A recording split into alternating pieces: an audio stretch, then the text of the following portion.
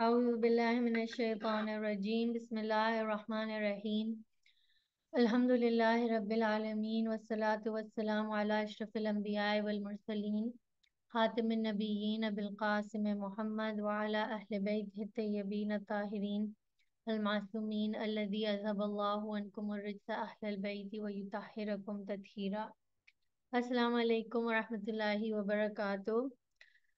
سبحانك لا علم لنا إلا ما علمتنا رب اشرح لي صدري ويسر لي أمري واحلل عقدة من لساني يفقهوا قولي أفوض أمري إلى الله إن الله بصير بالعباد So we continue our journey in Ayatul Kursi and we have discussed a few concepts. we have talked about the throne.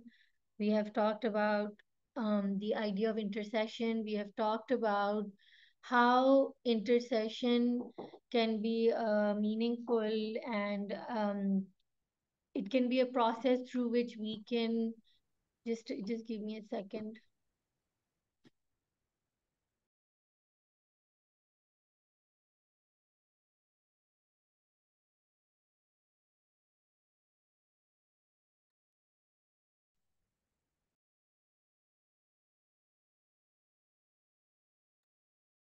sorry about that so we have looked at intercession in a meaningful way where it is not a concept that we are going to see or understand in future, but something that we can make use of now. And we talked about walking in the footsteps so that wherever wherever this person ends up going, we end up going in the same place. Whatever group of people are going in one direction we because we follow their footsteps we are going to also be in the same group of people. And shafa'at comes from the word of pairing. So when we pair something together they're similar. So when we become like someone we follow their footsteps we become so similar to them that we are we are now as similar as two shoes that are paired together there's a mirror image. There's a reflection of who we are following and that gets absorbed into us and therefore shafa'at means that this effort this effort that we made in following our role model will help us because allah will see that okay this person was making so much effort to to grow to learn to follow the footsteps of for example the holy prophet. And allah because he will he will be so generous with us he'll say okay this person has made all this effort so let me put them let me measure them together let me put them together. So Ayatul Kursi was bringing us into into these uh, concepts of the heart god and then intercession. So we see that there's a there's a hierarchy. There's Allah subhanahu wa ta'ala, there are qualities of Allah subhanahu wa ta'ala. He doesn't sleep, he doesn't become drowsy. Then he's saying no one can intercede except with my, without my permission. And that ends up making us see that Allah is talking about two different realities. One is Allah and then it is his messenger in a hierarchical way. And so I'm going to uh, go to the next verse now. And I'm just going to read the translation. Um, we finish at Aliul Azim. Again, Aliul Azim are beautiful names of Allah. So I'm just gonna gonna read this um, translation. And they cannot encompass anything of His knowledge except that which He wills. Wills His throne uh, of power and authority encompasses the heavens and the earth, and the protection of both the earth and he heavens does not pose Him any difficulty. He alone is most high, most great. Um, and and then we go to the next verse, verse 256, where Allah subhanahu wa ta'ala is saying, La ikraha fid. There is no compulsion in religion. Surely the guidance has been evidently distinguished from error. So he who rejects false gods and believes in Allah has grasped such a firm handhold that will never give way, and Allah is all hearing, all knowing. قد تبين الرشد من الغي فمن يكفر بالطاغوت ويؤمن بالله فقد استمسك بالعروة الوثقى So let us look at La ikraha fiddin and let us understand um, what Allah is saying when he's saying that there is no compulsion in religion. So a lot of times people say that this verse means that when you're within a religion, that is when you don't have a choice inside the religion. But when you're outside the religion, you have a choice of choosing which religion. Like you're free to choose whether you want to be a Muslim or a Hindu or a Christian. But your own your own um, uh, decision when you make your decision to be inside a particular religion, then you have to follow the Sharia and you have to follow the protocols. And then there is no like choice. So I want to break this down and I want to go into first the idea of deen. So if we look at the the concept of deen in Surah Fatiha and we say Malik Yawmiddin, we mentioned that the day of judgment is not just that day, but that day of judgment is the day of accountability, and we are accountable in every moment. So, Yawmiddin is the moment of accountability towards Allah, which is all the moments in our life. All the moments in our life are moments of accountability. Therefore, if we say there is no compulsion in religion, then that means that you are not bound you are not in a compulsion to be accountable you're not you're not uh, being forced by allah that oh you are accountable to me. So there is no compulsion in you. So so don't think that i am going to tie your hands and i'm going to force you to be subservient to me and give me your accountability. But Allah is saying uh, in this verse, when He's saying there is no compulsion in deen, surely the guidance has been evidently distinguished from error. So the rushd, the rushd or the, the ability to distinguish between right and wrong, good and bad, Allah Ta'ala is saying that I have put that, that within you. You are able to distinguish between right and wrong each human being is born with that inner burhan, inner rushd, inner uh, ability to see right from wrong. What ends up happening is that a lot of times we are not willing to see that truth. Our own truth, our own honesty is veiled, and we don't want to address it. We don't want to um, look at it. We don't want to see it eye to eye. Why? Because again, there is an accountability. When we look at ourselves, then we will find something within ourselves. When we will find something within ourselves, then we'll have to be accountable for it. So we need to understand that when we are accountable towards Allah subhanahu wa ta'ala, then we make him our master and when we make him our master, then we are going to gauge ourselves in his perspective. We are going to look at ourselves from the perspective of God's standard. What is the standard God is keeping for me? But if I am choosing not to be accountable to God, but I want to be accountable to a person, people, parents, spouse, teacher, boss, someone I've fallen in love with, if I'm going to set up my standard according to um, according to somebody other than Allah subhanahu wa ta'ala, then you have the freedom. And a lot of us choose that. And a lot of us will choose to be accountable more to people than Allah subhanahu wa ta'ala, more to our children, more to our spouses than the standard that Allah wants from us. So Allah subhanahu wa ta'ala is saying, I have shown you right and wrong, and now it is up to you that you decide who you choose to be accountable to and there is no compulsion for you who you choose to be accountable to what happens when we choose allah and we say allah sees my book of accountability or allah has the right to judge me or not. And what happens when we choose people? So this is something that i've said before that when we choose allah subhanahu wa ta'ala to be the master of the to be the master of master to whom we are accountable then in every moment we we become liberated from from what people are thinking of us. And believe me, it can become a very psychologically painful situation if other people are living in your head. And you're hearing voices of people saying you're not looking nice in this color. This color doesn't suit you.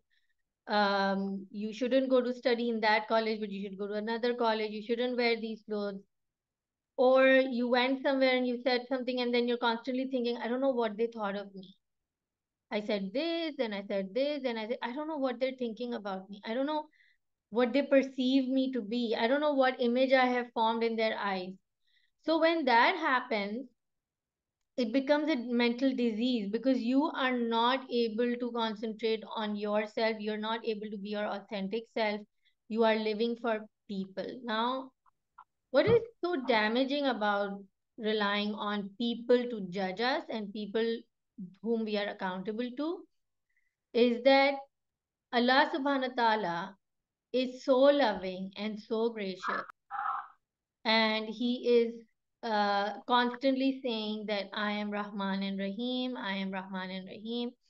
So Allah subhanahu wa ta'ala is constantly telling us that um just a second. I'm just gonna mute you guys because there's some issue with the mic. Mhm. Okay, thank you. All right, so so the thing is that Allah subhanahu wa ta'ala is constantly reminding us that He's loving, He's Rahman, He's Rahim. So it's kind of easy to make God the one who judges us, to be accountable to God, right? Imagine if you got really tempted and you cheated someone at work and you made a lot of money. Um, what happens if we are accountable to people? People tend to expose us, people tend to judge us harshly, people tend to um, make us feel really ashamed and bad. Um, people don't always have the expansion in the heart to forgive us. Um, so I remember one time, this is uh, a story about my late grandfather, my mother's father, and I was very, very close to him. Um, and he was working until he was 90 years old, 92 years old. He was working. He used to go to work every day. Um, sometimes he would even take a bus to go to work. And over here, it's not like a simple procedure to get on a bus and go far, but he was a hardworking man. Uh, he came from uh, being an orphan to building a huge life for himself and his children. And when in when he got really old, he had uh, a boy helping him with the accounts in his office. And for many years, that boy was helping my nana. And then he moved to Dubai for work. He said, I have a better opportunity. And my nana blessed him and said, You know, I wish you all the best. And he went away. After three to four years, that boy came back and he told my nana that he had been meddling with accounts and he had uh, taken some money. And it was so beautiful that my nana he turned around and he said that it must have taken you a lot of courage to come and tell me. And it's not easy for someone to own up to their guilt of doing this. So my nana said, I don't want your money. I'm just really proud of you that you owned up to your mistake. And I still wish you all the best. And you don't owe me anything as long as you realize that you have wronged someone and you have wronged your soul. And it was such a beautiful experience for me because I knew the man who was working for my nana. He used to come to the house for accounts. My nana was very old, so he couldn't take care of those accounts by himself. But what I also hear is that as my nana was aging, um, people around him kept telling me that he was getting very merciful. He was becoming more and more soft and kinder and loving and forgiving. So either that can happen to us as we grow older because we work on ourselves and our soul kind of softens, or it can keep getting more bitter and harsher and grumpier because there are a lot of old people, right? If you think about them telling them that I embezzled and I took away or I stole money from you, I mean, they can get really mad and they can get very irritated and they can get very grouchy about the whole situation. But I mean, my Nana was so old and he chose to be merciful and forgiving. So there is that risk of being accountable to people that they may shame you, they may treat you badly, they may, you know, blame you instead of seeing the fact that, wow, you've come back and you've asked for forgiveness. And we see that same thing with Allah subhanahu wa ta'ala.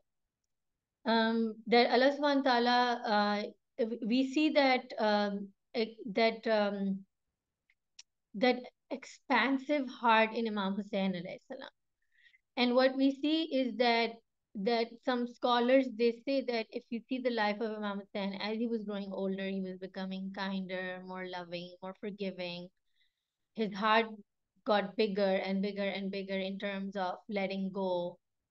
Um, you know, people say that at the time when Imam Ali was um, struck with the sword, uh, Imam Hussein was very different then. And then Imam Hussein was very different at the time of Karbala. So we see that as we are growing, we are constantly working. We can be working towards expanding, or we can be complacent and we can leave ourselves to the whims of life, and it can end up making us more bitter. So the choice is ours. Who are we going to be accountable to? And the biggest advantage of being accountable to Allah subhanahu wa ta'ala is that Allah doesn't, you know, Allah says in the Quran that I don't, uh, I don't know, in Gujarati we have the same word, or in Urdu we say jatana, like you show off and you make the other person feel small and you say, look, look, I did this for you. Or, yeah, I'm so great, I helped you or like, oh, remember that day I helped you? You owe me a favor, kind of thing. Allah doesn't do that. Allah doesn't uh, make us feel like we're, we we owe Him anything. So Allah keeps giving, and Allah keeps listening, but Allah doesn't make us feel blamed or shamed or that we owe Him anything for the favors He does does towards us. So accountability to Allah then liberates us from the accountability to people. How does that happen? So if you um, did not have the intention of cheating someone at work, if you didn't have that intention, and you went in with the clear conscience of, you know, being fair, being just in business, Right. And if we um, if we did it with the right intention, but it ends up happening that someone in the middle misguides us or we get confused or we make a mistake in counting the numbers or or we by mistake we misplace the money or by mistake we take extra money and give them less money then if we were clear in our conscience and intention and we have to be accountable to this person about money or business or whatever we don't feel guilty and we don't feel bad about it. Even though there will be a voice in our head saying i wonder what that person thinks of me now. He or she must think that i'm a crook. He or she must think that i'm i'm a shady person or i'm a bad person. Then how can you treat that voice in your head? How can you treat that self doubt?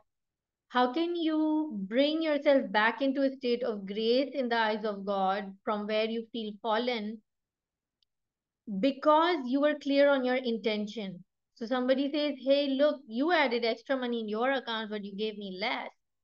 I'm feeling like I can't trust you anymore. And you can just turn around and say, You know what? That's okay. I know that I have made a mistake, which uh, which would make anyone doubt my actions, but I want to really, really assure you that I had no such intention. And here you go. This is your extra money. Please take it right away.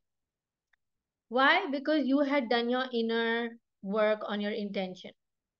What happens when we haven't done that work on the intention. We jump right into answering, we jump right into giving a reply or responding, we jump right into making the accounts the way they should have been. Is that it's not necessary that you did it out of a bad intention, but because you had no intention sorted out, you doubt yourself. And you end up looking like you had a bad intention. So if they say, hey, listen, you put more money in your own account and less in mine, you're like, really? Oh my God, how did that happen?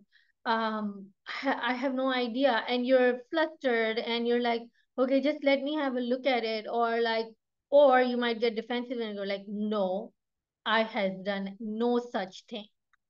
And how dare you speak to me like that, right? In both these scenarios, you're you had not sorted out your intention. If you have not sorted out your intention, you'll be flustered and confused what to say and how to sort out the situation. But if you're always clear about your intention and if you're always very, you know, uh, to the point about the fact that no, I don't believe in cheating someone with money or misguiding someone or manipulating someone, then you'll be very clear and you'll be like, uh, if that has happened, then I apologize. I'll send the money right away.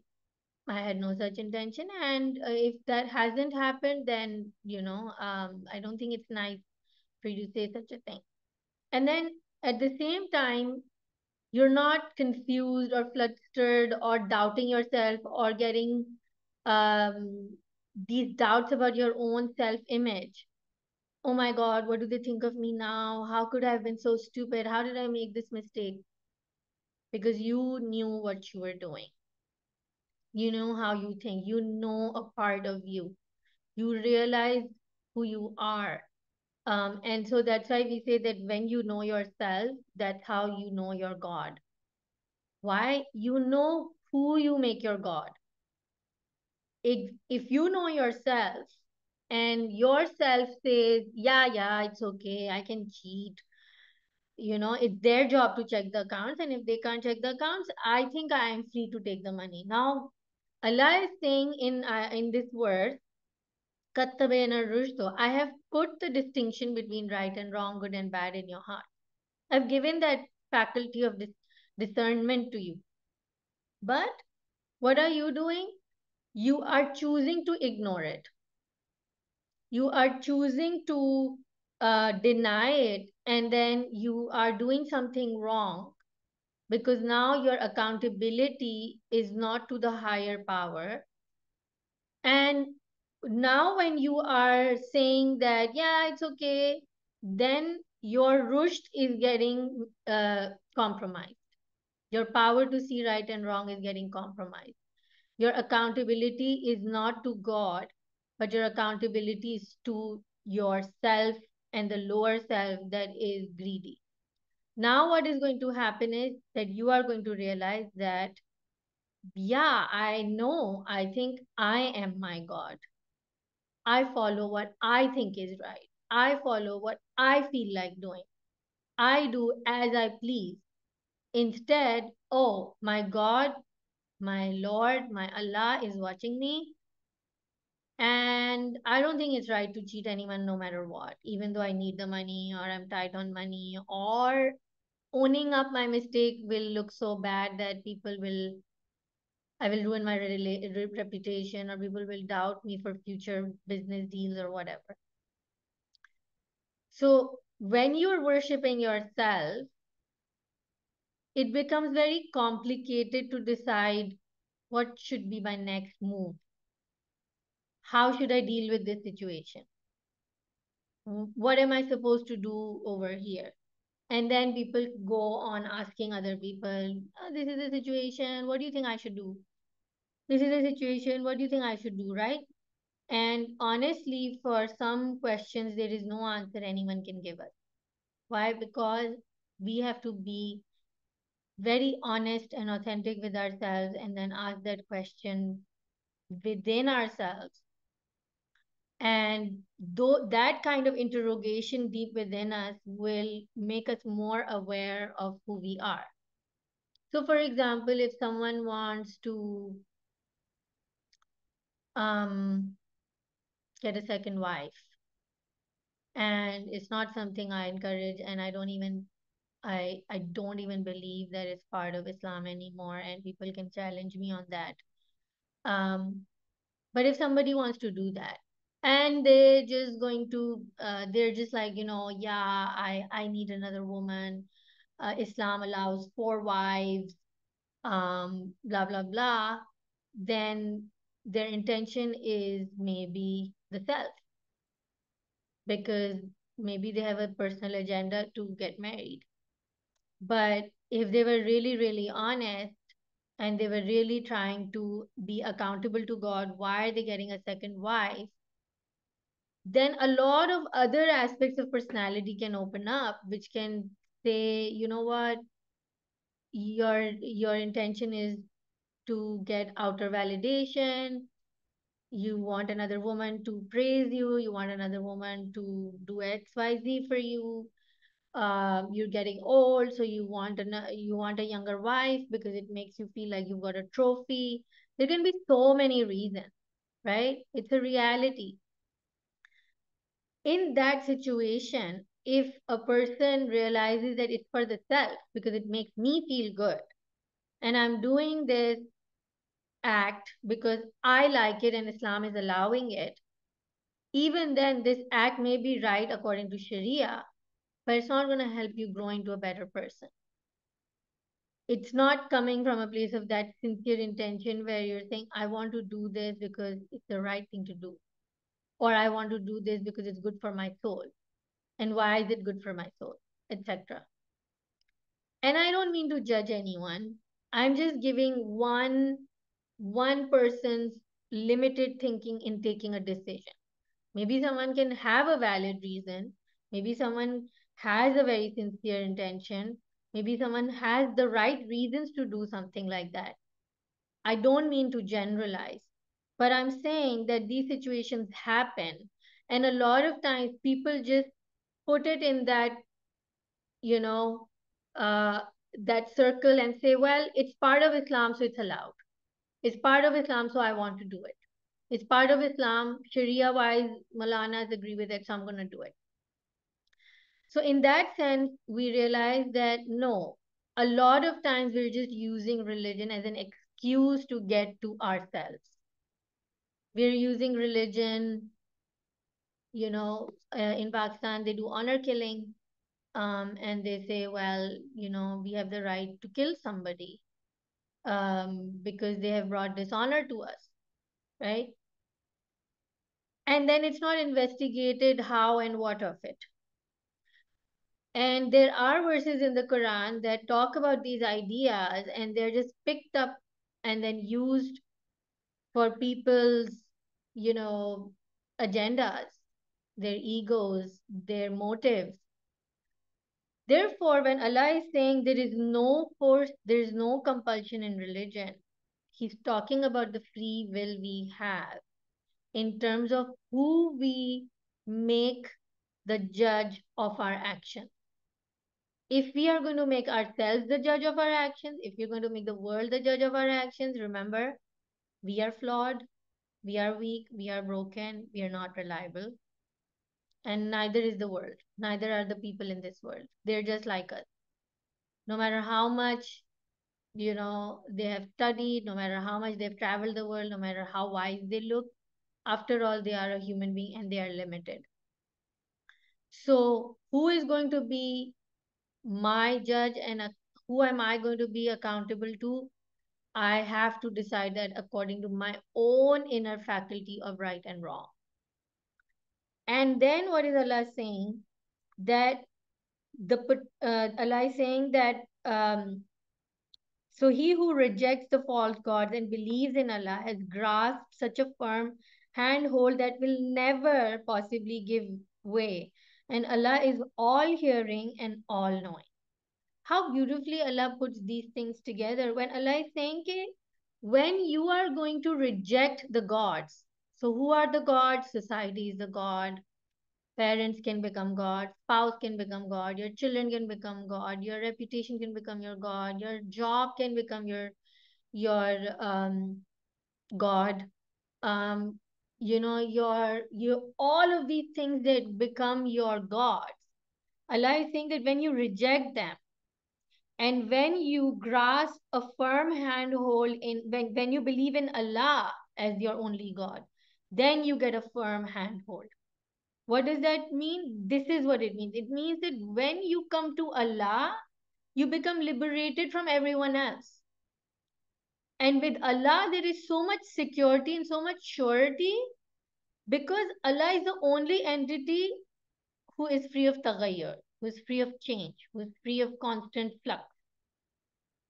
Allah is not having, you know, God forbid, mood swings. Allah is not having weak health and good health. Allah is not feeling moody. You know, Allah has no cycles. Um, Allah is uh, not doing favoritism, right? Allah is just. Allah is constantly a reliable uh, point of access for us that if we hold on to that point of access there's going to be a stability in our life. There's going to be a re- relatively a smooth going because you know what to expect of god. You know what to you know that this entity is not going to let me down because this entity has never ever defaulted on the night not changing into day or the day not changing into night. This this entity has always made sure that the earth doesn't collapse. Um, and the systems of gravity are working perfectly and i mean there are millions of miracles of god that are so amazing um, i was looking at this um, uh, research that has come out that when when we do physical workout um, our muscles actually produce these hormones that make us happier. So when we do laborious work, right, when we're using our body and we're doing something, then it makes us happy. And it got me thinking that there was a time when the human being was harvesting, cooking, hunting, um, cleaning, they were doing all of that. Um, and then what happened is that we evolved, and now when we sit in our offices and we don't have to do a lot of laborious work and physically taxing work, um, now we feel like, oh, I am more successful. Um, but what is the system saying? That when you do active work, when you do physical work, that's when hormones are released in your through your muscle activation which the doctors call the call the hope hormone okay? It's like the hope hormone that is released in your body. Now imagine someone who is in an IT job top of his line sitting at the computer working all day making millions but he has no physical organic uh, work happening. So he has to schedule a time to go to the gym schedule an alarm to get up and start walking you know like the apple watch will tell you time to take a walk. Um so naturally this person is earning a lot of money but he's not living an organically natural life of a human being whose work requires him to do physical activity.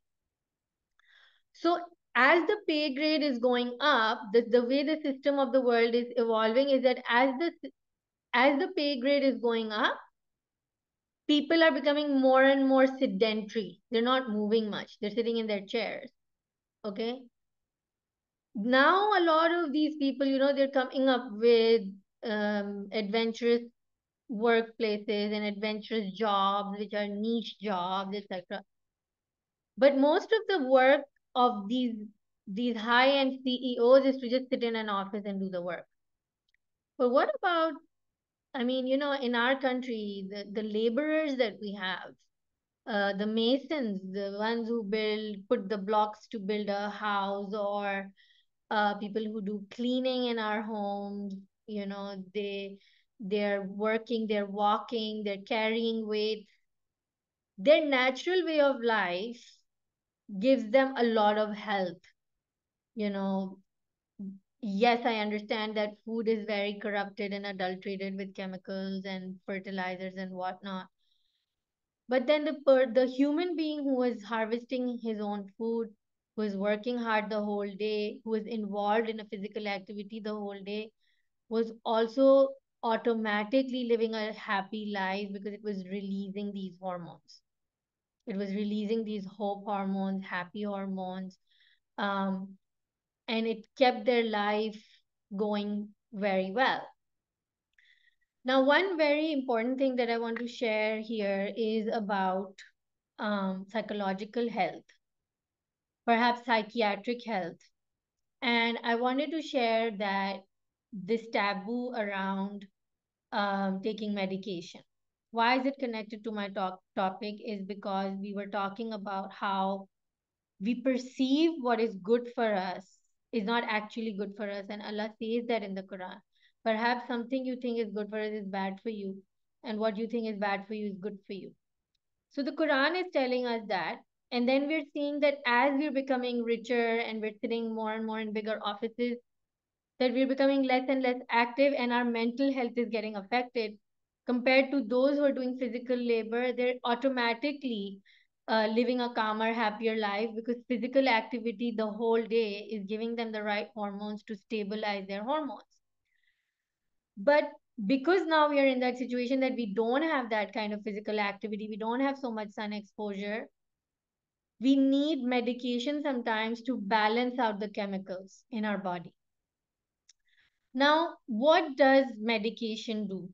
Okay, I want to remove the taboo around psychiatric help and going and taking medication for mental uh, situations because I have myself benefited from such treatments and I used to be dead against it. And I used to feel like no matter what happens, I will never take, you know, antidepressants or hormones or whatever, right? Because no, no, they're addictive and they do this and do that. But you see, Allah subhanahu wa ta'ala says, I have not created a problem for which I've already created a solution for you. Okay. So I noticed that there are two very big advantages of taking psychiatric help and going, going and using the medication with the right doctor and with constant checkups and monitoring your the doses of your medication and then being religious about how and what the doctor gives you the dose to be. Number one, life throws us in the pits sometimes. And when we're going through a very difficult situation in life, um, we can't leave the situation, but we need more strength to deal with the situation. Okay. And we see that our ancestors perhaps had more emotional threshold to compromise, to to you know, um, to be able to deal with difficult situations and go get through it. Uh, hence there was less divorces and all of that. And i'm not saying that someone who's going through potential abuse and and and uh, physical abuse should make a marriage work no matter what. But i would say that before we break the last twig before we take the last step before we take the last decision to break off a marriage or break off a relationship or take a harsh step in our life we need to understand also that sometimes dealing with the situation for too long drains us of our energy, drains us because a situation which is very intensely emotional can scar us. It can give us a wound, a deep emotional wound. Now, if I don't do anything to heal that wound and I allow it to be scraped and cut into again and again and again, there is going to be no healing. No matter how much we keep praying no matter how much we telling tell god yes when we keep praying allah might put it in your heart to take medicine. Allah might put it in your heart to go for therapy. Allah might put it in your heart to get some counseling or coaching or or separate yourself from the situation but you have to take that step and what medicine does is that it will prevent you from getting as triggered by the same situation. So when someone tells a, a person, oh my God, you're so dark, you'll never get married, this is just a very run of the mill example, very, um, you know, silly thing I'm saying, but it's just a hypothetical example that I'm getting, saying. Oh, you're very dark, you will never get married. Now, this is something that you've heard like a million times. It has hurt you, it has scarred you, it has affected your self esteem. I have no doubt that unless you do your inner work, the next time someone says that, it is going to be hurtful. In fact, with all of those years of being taunted and lagged at, someone who comes and says, Oh, you're so dark, you will never get married, may cause a traumatic trigger because it's a trigger for you, it's a wound, it's a place of pain for you. So, what will the medication do? It will hold back the intensity of the effects of being triggered. And so, you'll be able to deal with the same situation. If I can say the word calmly, then calmly or in a more numbed way. What is that doing now? It is giving you that breathing space to begin to heal that inner wound. So, slowly, slowly, you get on medication, you get that inner space, you don't get as triggered by the situation, so you don't react as badly. So, situations don't fall into bigger cycles of turmoil, aggression, arguments, and you break that cycle.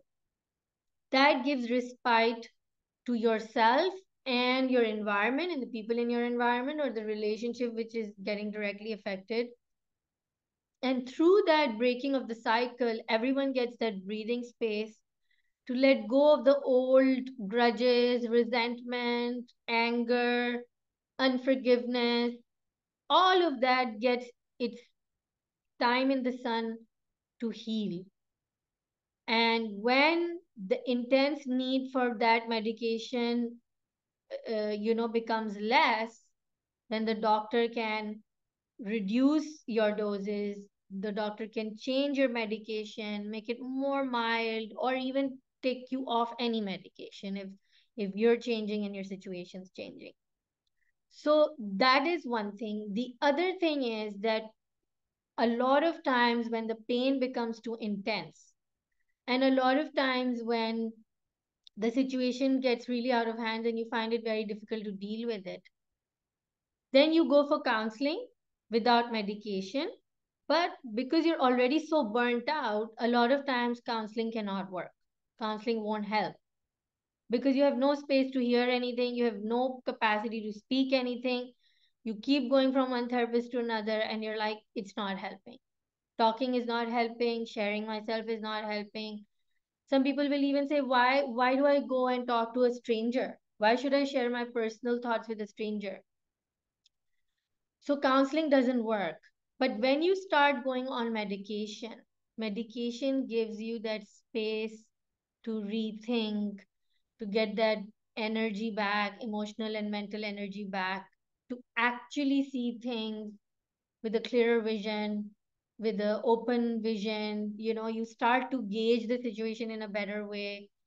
You can see yourself. Look if all your life you were taunted by your elders and you were constantly criticized and you have a scar around being criticized you get married and your husband says one thing for you to you uh like hey you were looking so pretty in white but black really doesn't suit you. Now that's a criticism right? It it is not nice for someone to say something like that but a lot of times our reaction to that is a hundred times more than it needed to be. Instead of saying hey buddy i don't like it when someone says nasty things to me or bad things to me about my clothes i'm really sensitive about it that's a way of communicating how you felt. Instead you're like how dare you say this? I have lived like this forever. I will not allow you to do this. You're you know these men who do you think you are that you can just come and criticize me? Or you know blah blah blah. It can take a very different route.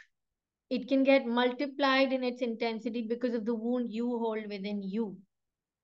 And therefore it becomes very important that in order for us to understand truly what is the issue here. Is it really in that person to the extent that I think it is in them? Or there is something within me that is also getting triggered. And there's a cumulative effect of both the things coming together and making me feel like my life is going to end. Or I can't do this anymore. This is the end of it. And I don't have more capacity to do this life. So, all in all, what medication does is that it gives you a breather, it gives you the space, it gives you the capacity and the stamina to listen. Because I have always been a propagator of the idea that when you change yourself, your outer reality changes. The way you, if you change the way you look at things, the things you look at change. I'm always a believer in that. Whatever is within you is a reflection of what is outside of you. What is outside of you is a reflection of what is within you. So, because it is all about our thoughts, it is all about the way the mind is working, the subconscious mind and the conscious mind, medication can help us get out of the rut and the cycle of negative thinking, pessimistic thinking, uh, depression, feeling like there is no hope left. And it can elevate our situation, it can elevate our thoughts to a place where now you feel a renewed capacity to build a better life, to have a positive outlook to life, to not be so triggered when someone says, hey, listen, um, there are mistakes that you're making which are you know leading to these problems in your life. And for example if you just spoke like this or you acted like this or you thought like this things could change in your life where do we get that capacity to to hear someone giving us a counsel a lot of times we're we're so burnt out we're so upset we've heard so many people give us so many unsolicited advice that we feel sick and tired of hearing more advice so definitely go down the route of finding a life coach, a mentor, a teacher. Uh, it is very, very important to have a teacher in life, someone older, someone more experienced, someone wiser, someone calmer than us. And if we need professional help, then going to see a counselor um, and some life coach. And then we can see if we are repeating ourselves in loops constantly and we're not able to get out of that same thought again and again and we're not able to break the cycle of that thought that ends you up in the same position again and again then consider seeing a psychiatrist. Let your psychologist and psychiatrist come together to come up with a good plan for you. Uh, stay com- under complete monitoring of your doctor. Take your medication. Don't leave them on your own. Uh, don't take it lightly that if i leave it it's okay it's a whole science. I'm not equipped. You're not equipped if you're a therapist for sure if you're a psychiatrist for sure. But the ones who are specifically trained in this med- medicine psychiatric medicine stick to professional stick to your routine.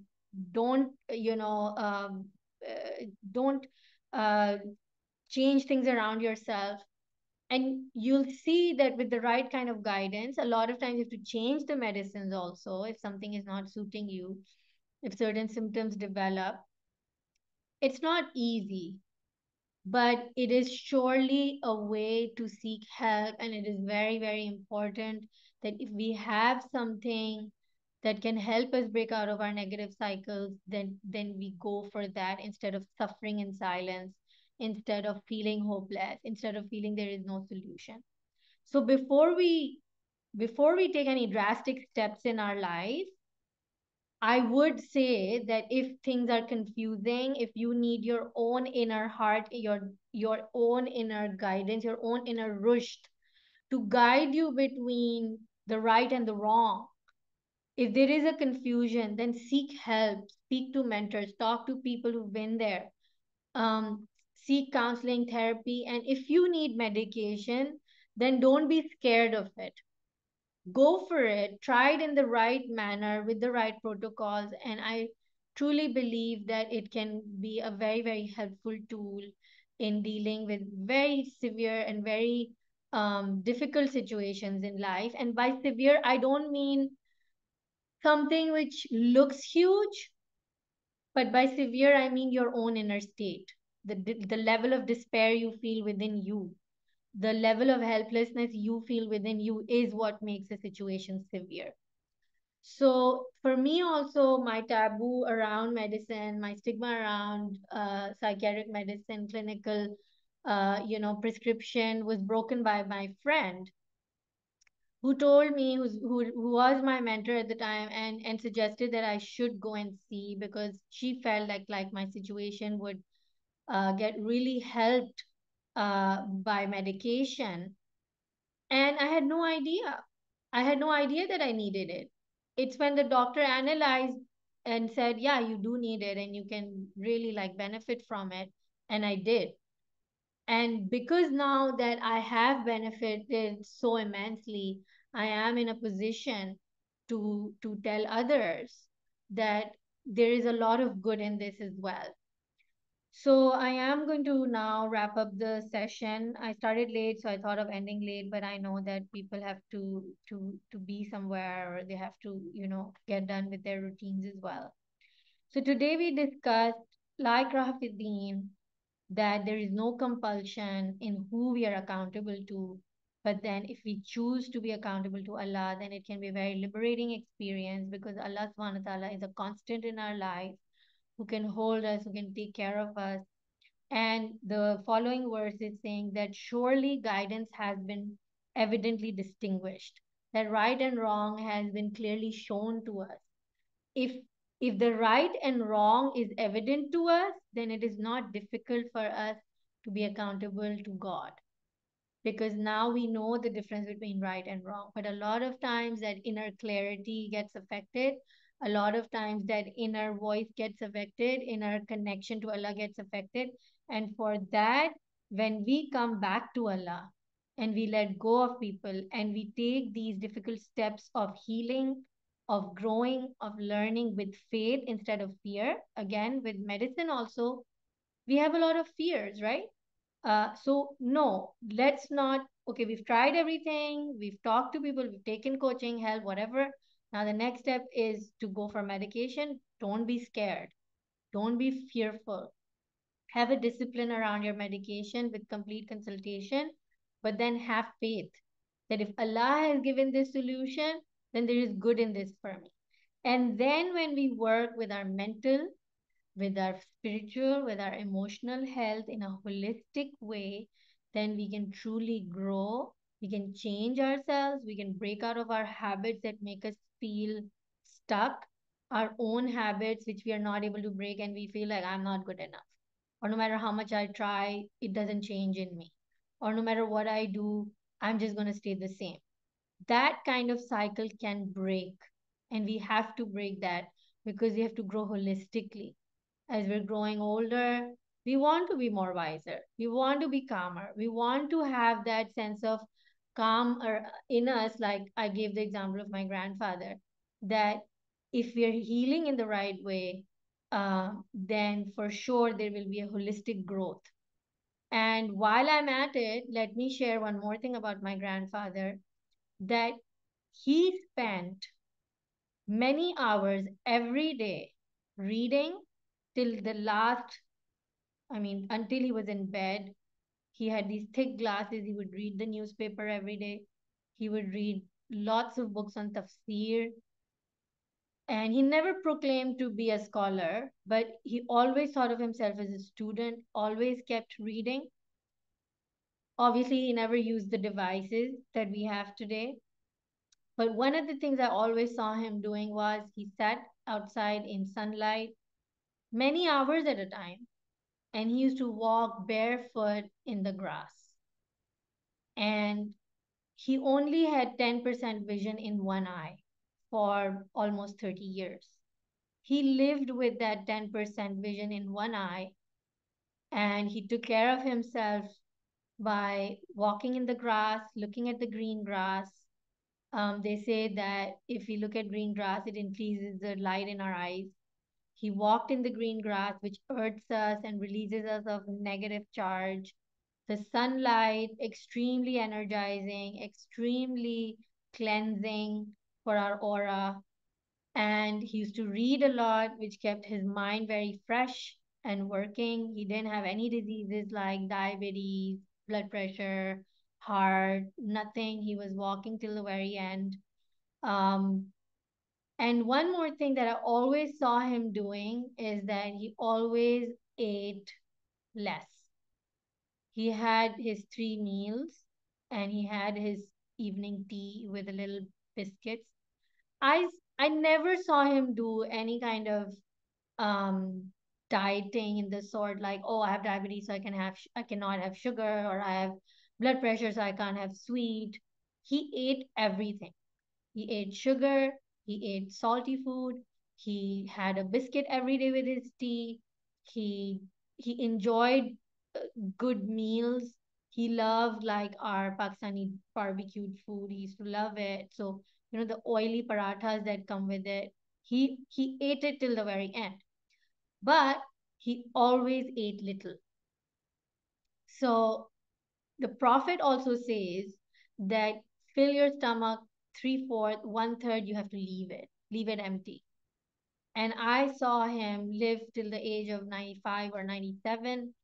He was working till the end. He had his soul intact. He had, uh, he was growing. He was changing. He was becoming kinder, more merciful, and he had good health, physical health also. So, um, let's end uh, our session here today. Uh, I just felt this desire to share these uh, beautiful qualities of my grandfather today. His name was Abdul Tayyab Abdul Qadir Bhanpuri. And uh, I would request you all to pray Fatiha if that's okay. Um, and for all of our marhumin, for my grandmother and everyone, for all of your marhumin. Um, and we send them a, a note of gratitude for them and doing what they did um, and the way we learned from them and the way we grew from them and where we are today is because we stand on their shoulders. So I request you all to pray Surah Fatiha. Bismillah ar-Rahman ar-Rahim.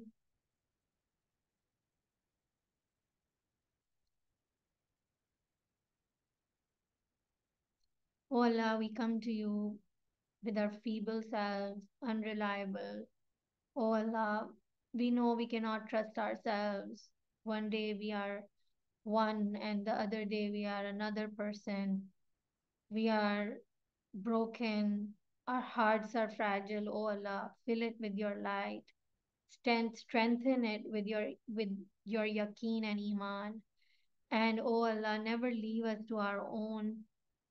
Please do our islah, do our guidance, hold our hands and take us in the right direction of whatever is good for us and prevent us, stop us from going in the direction which is not good for us.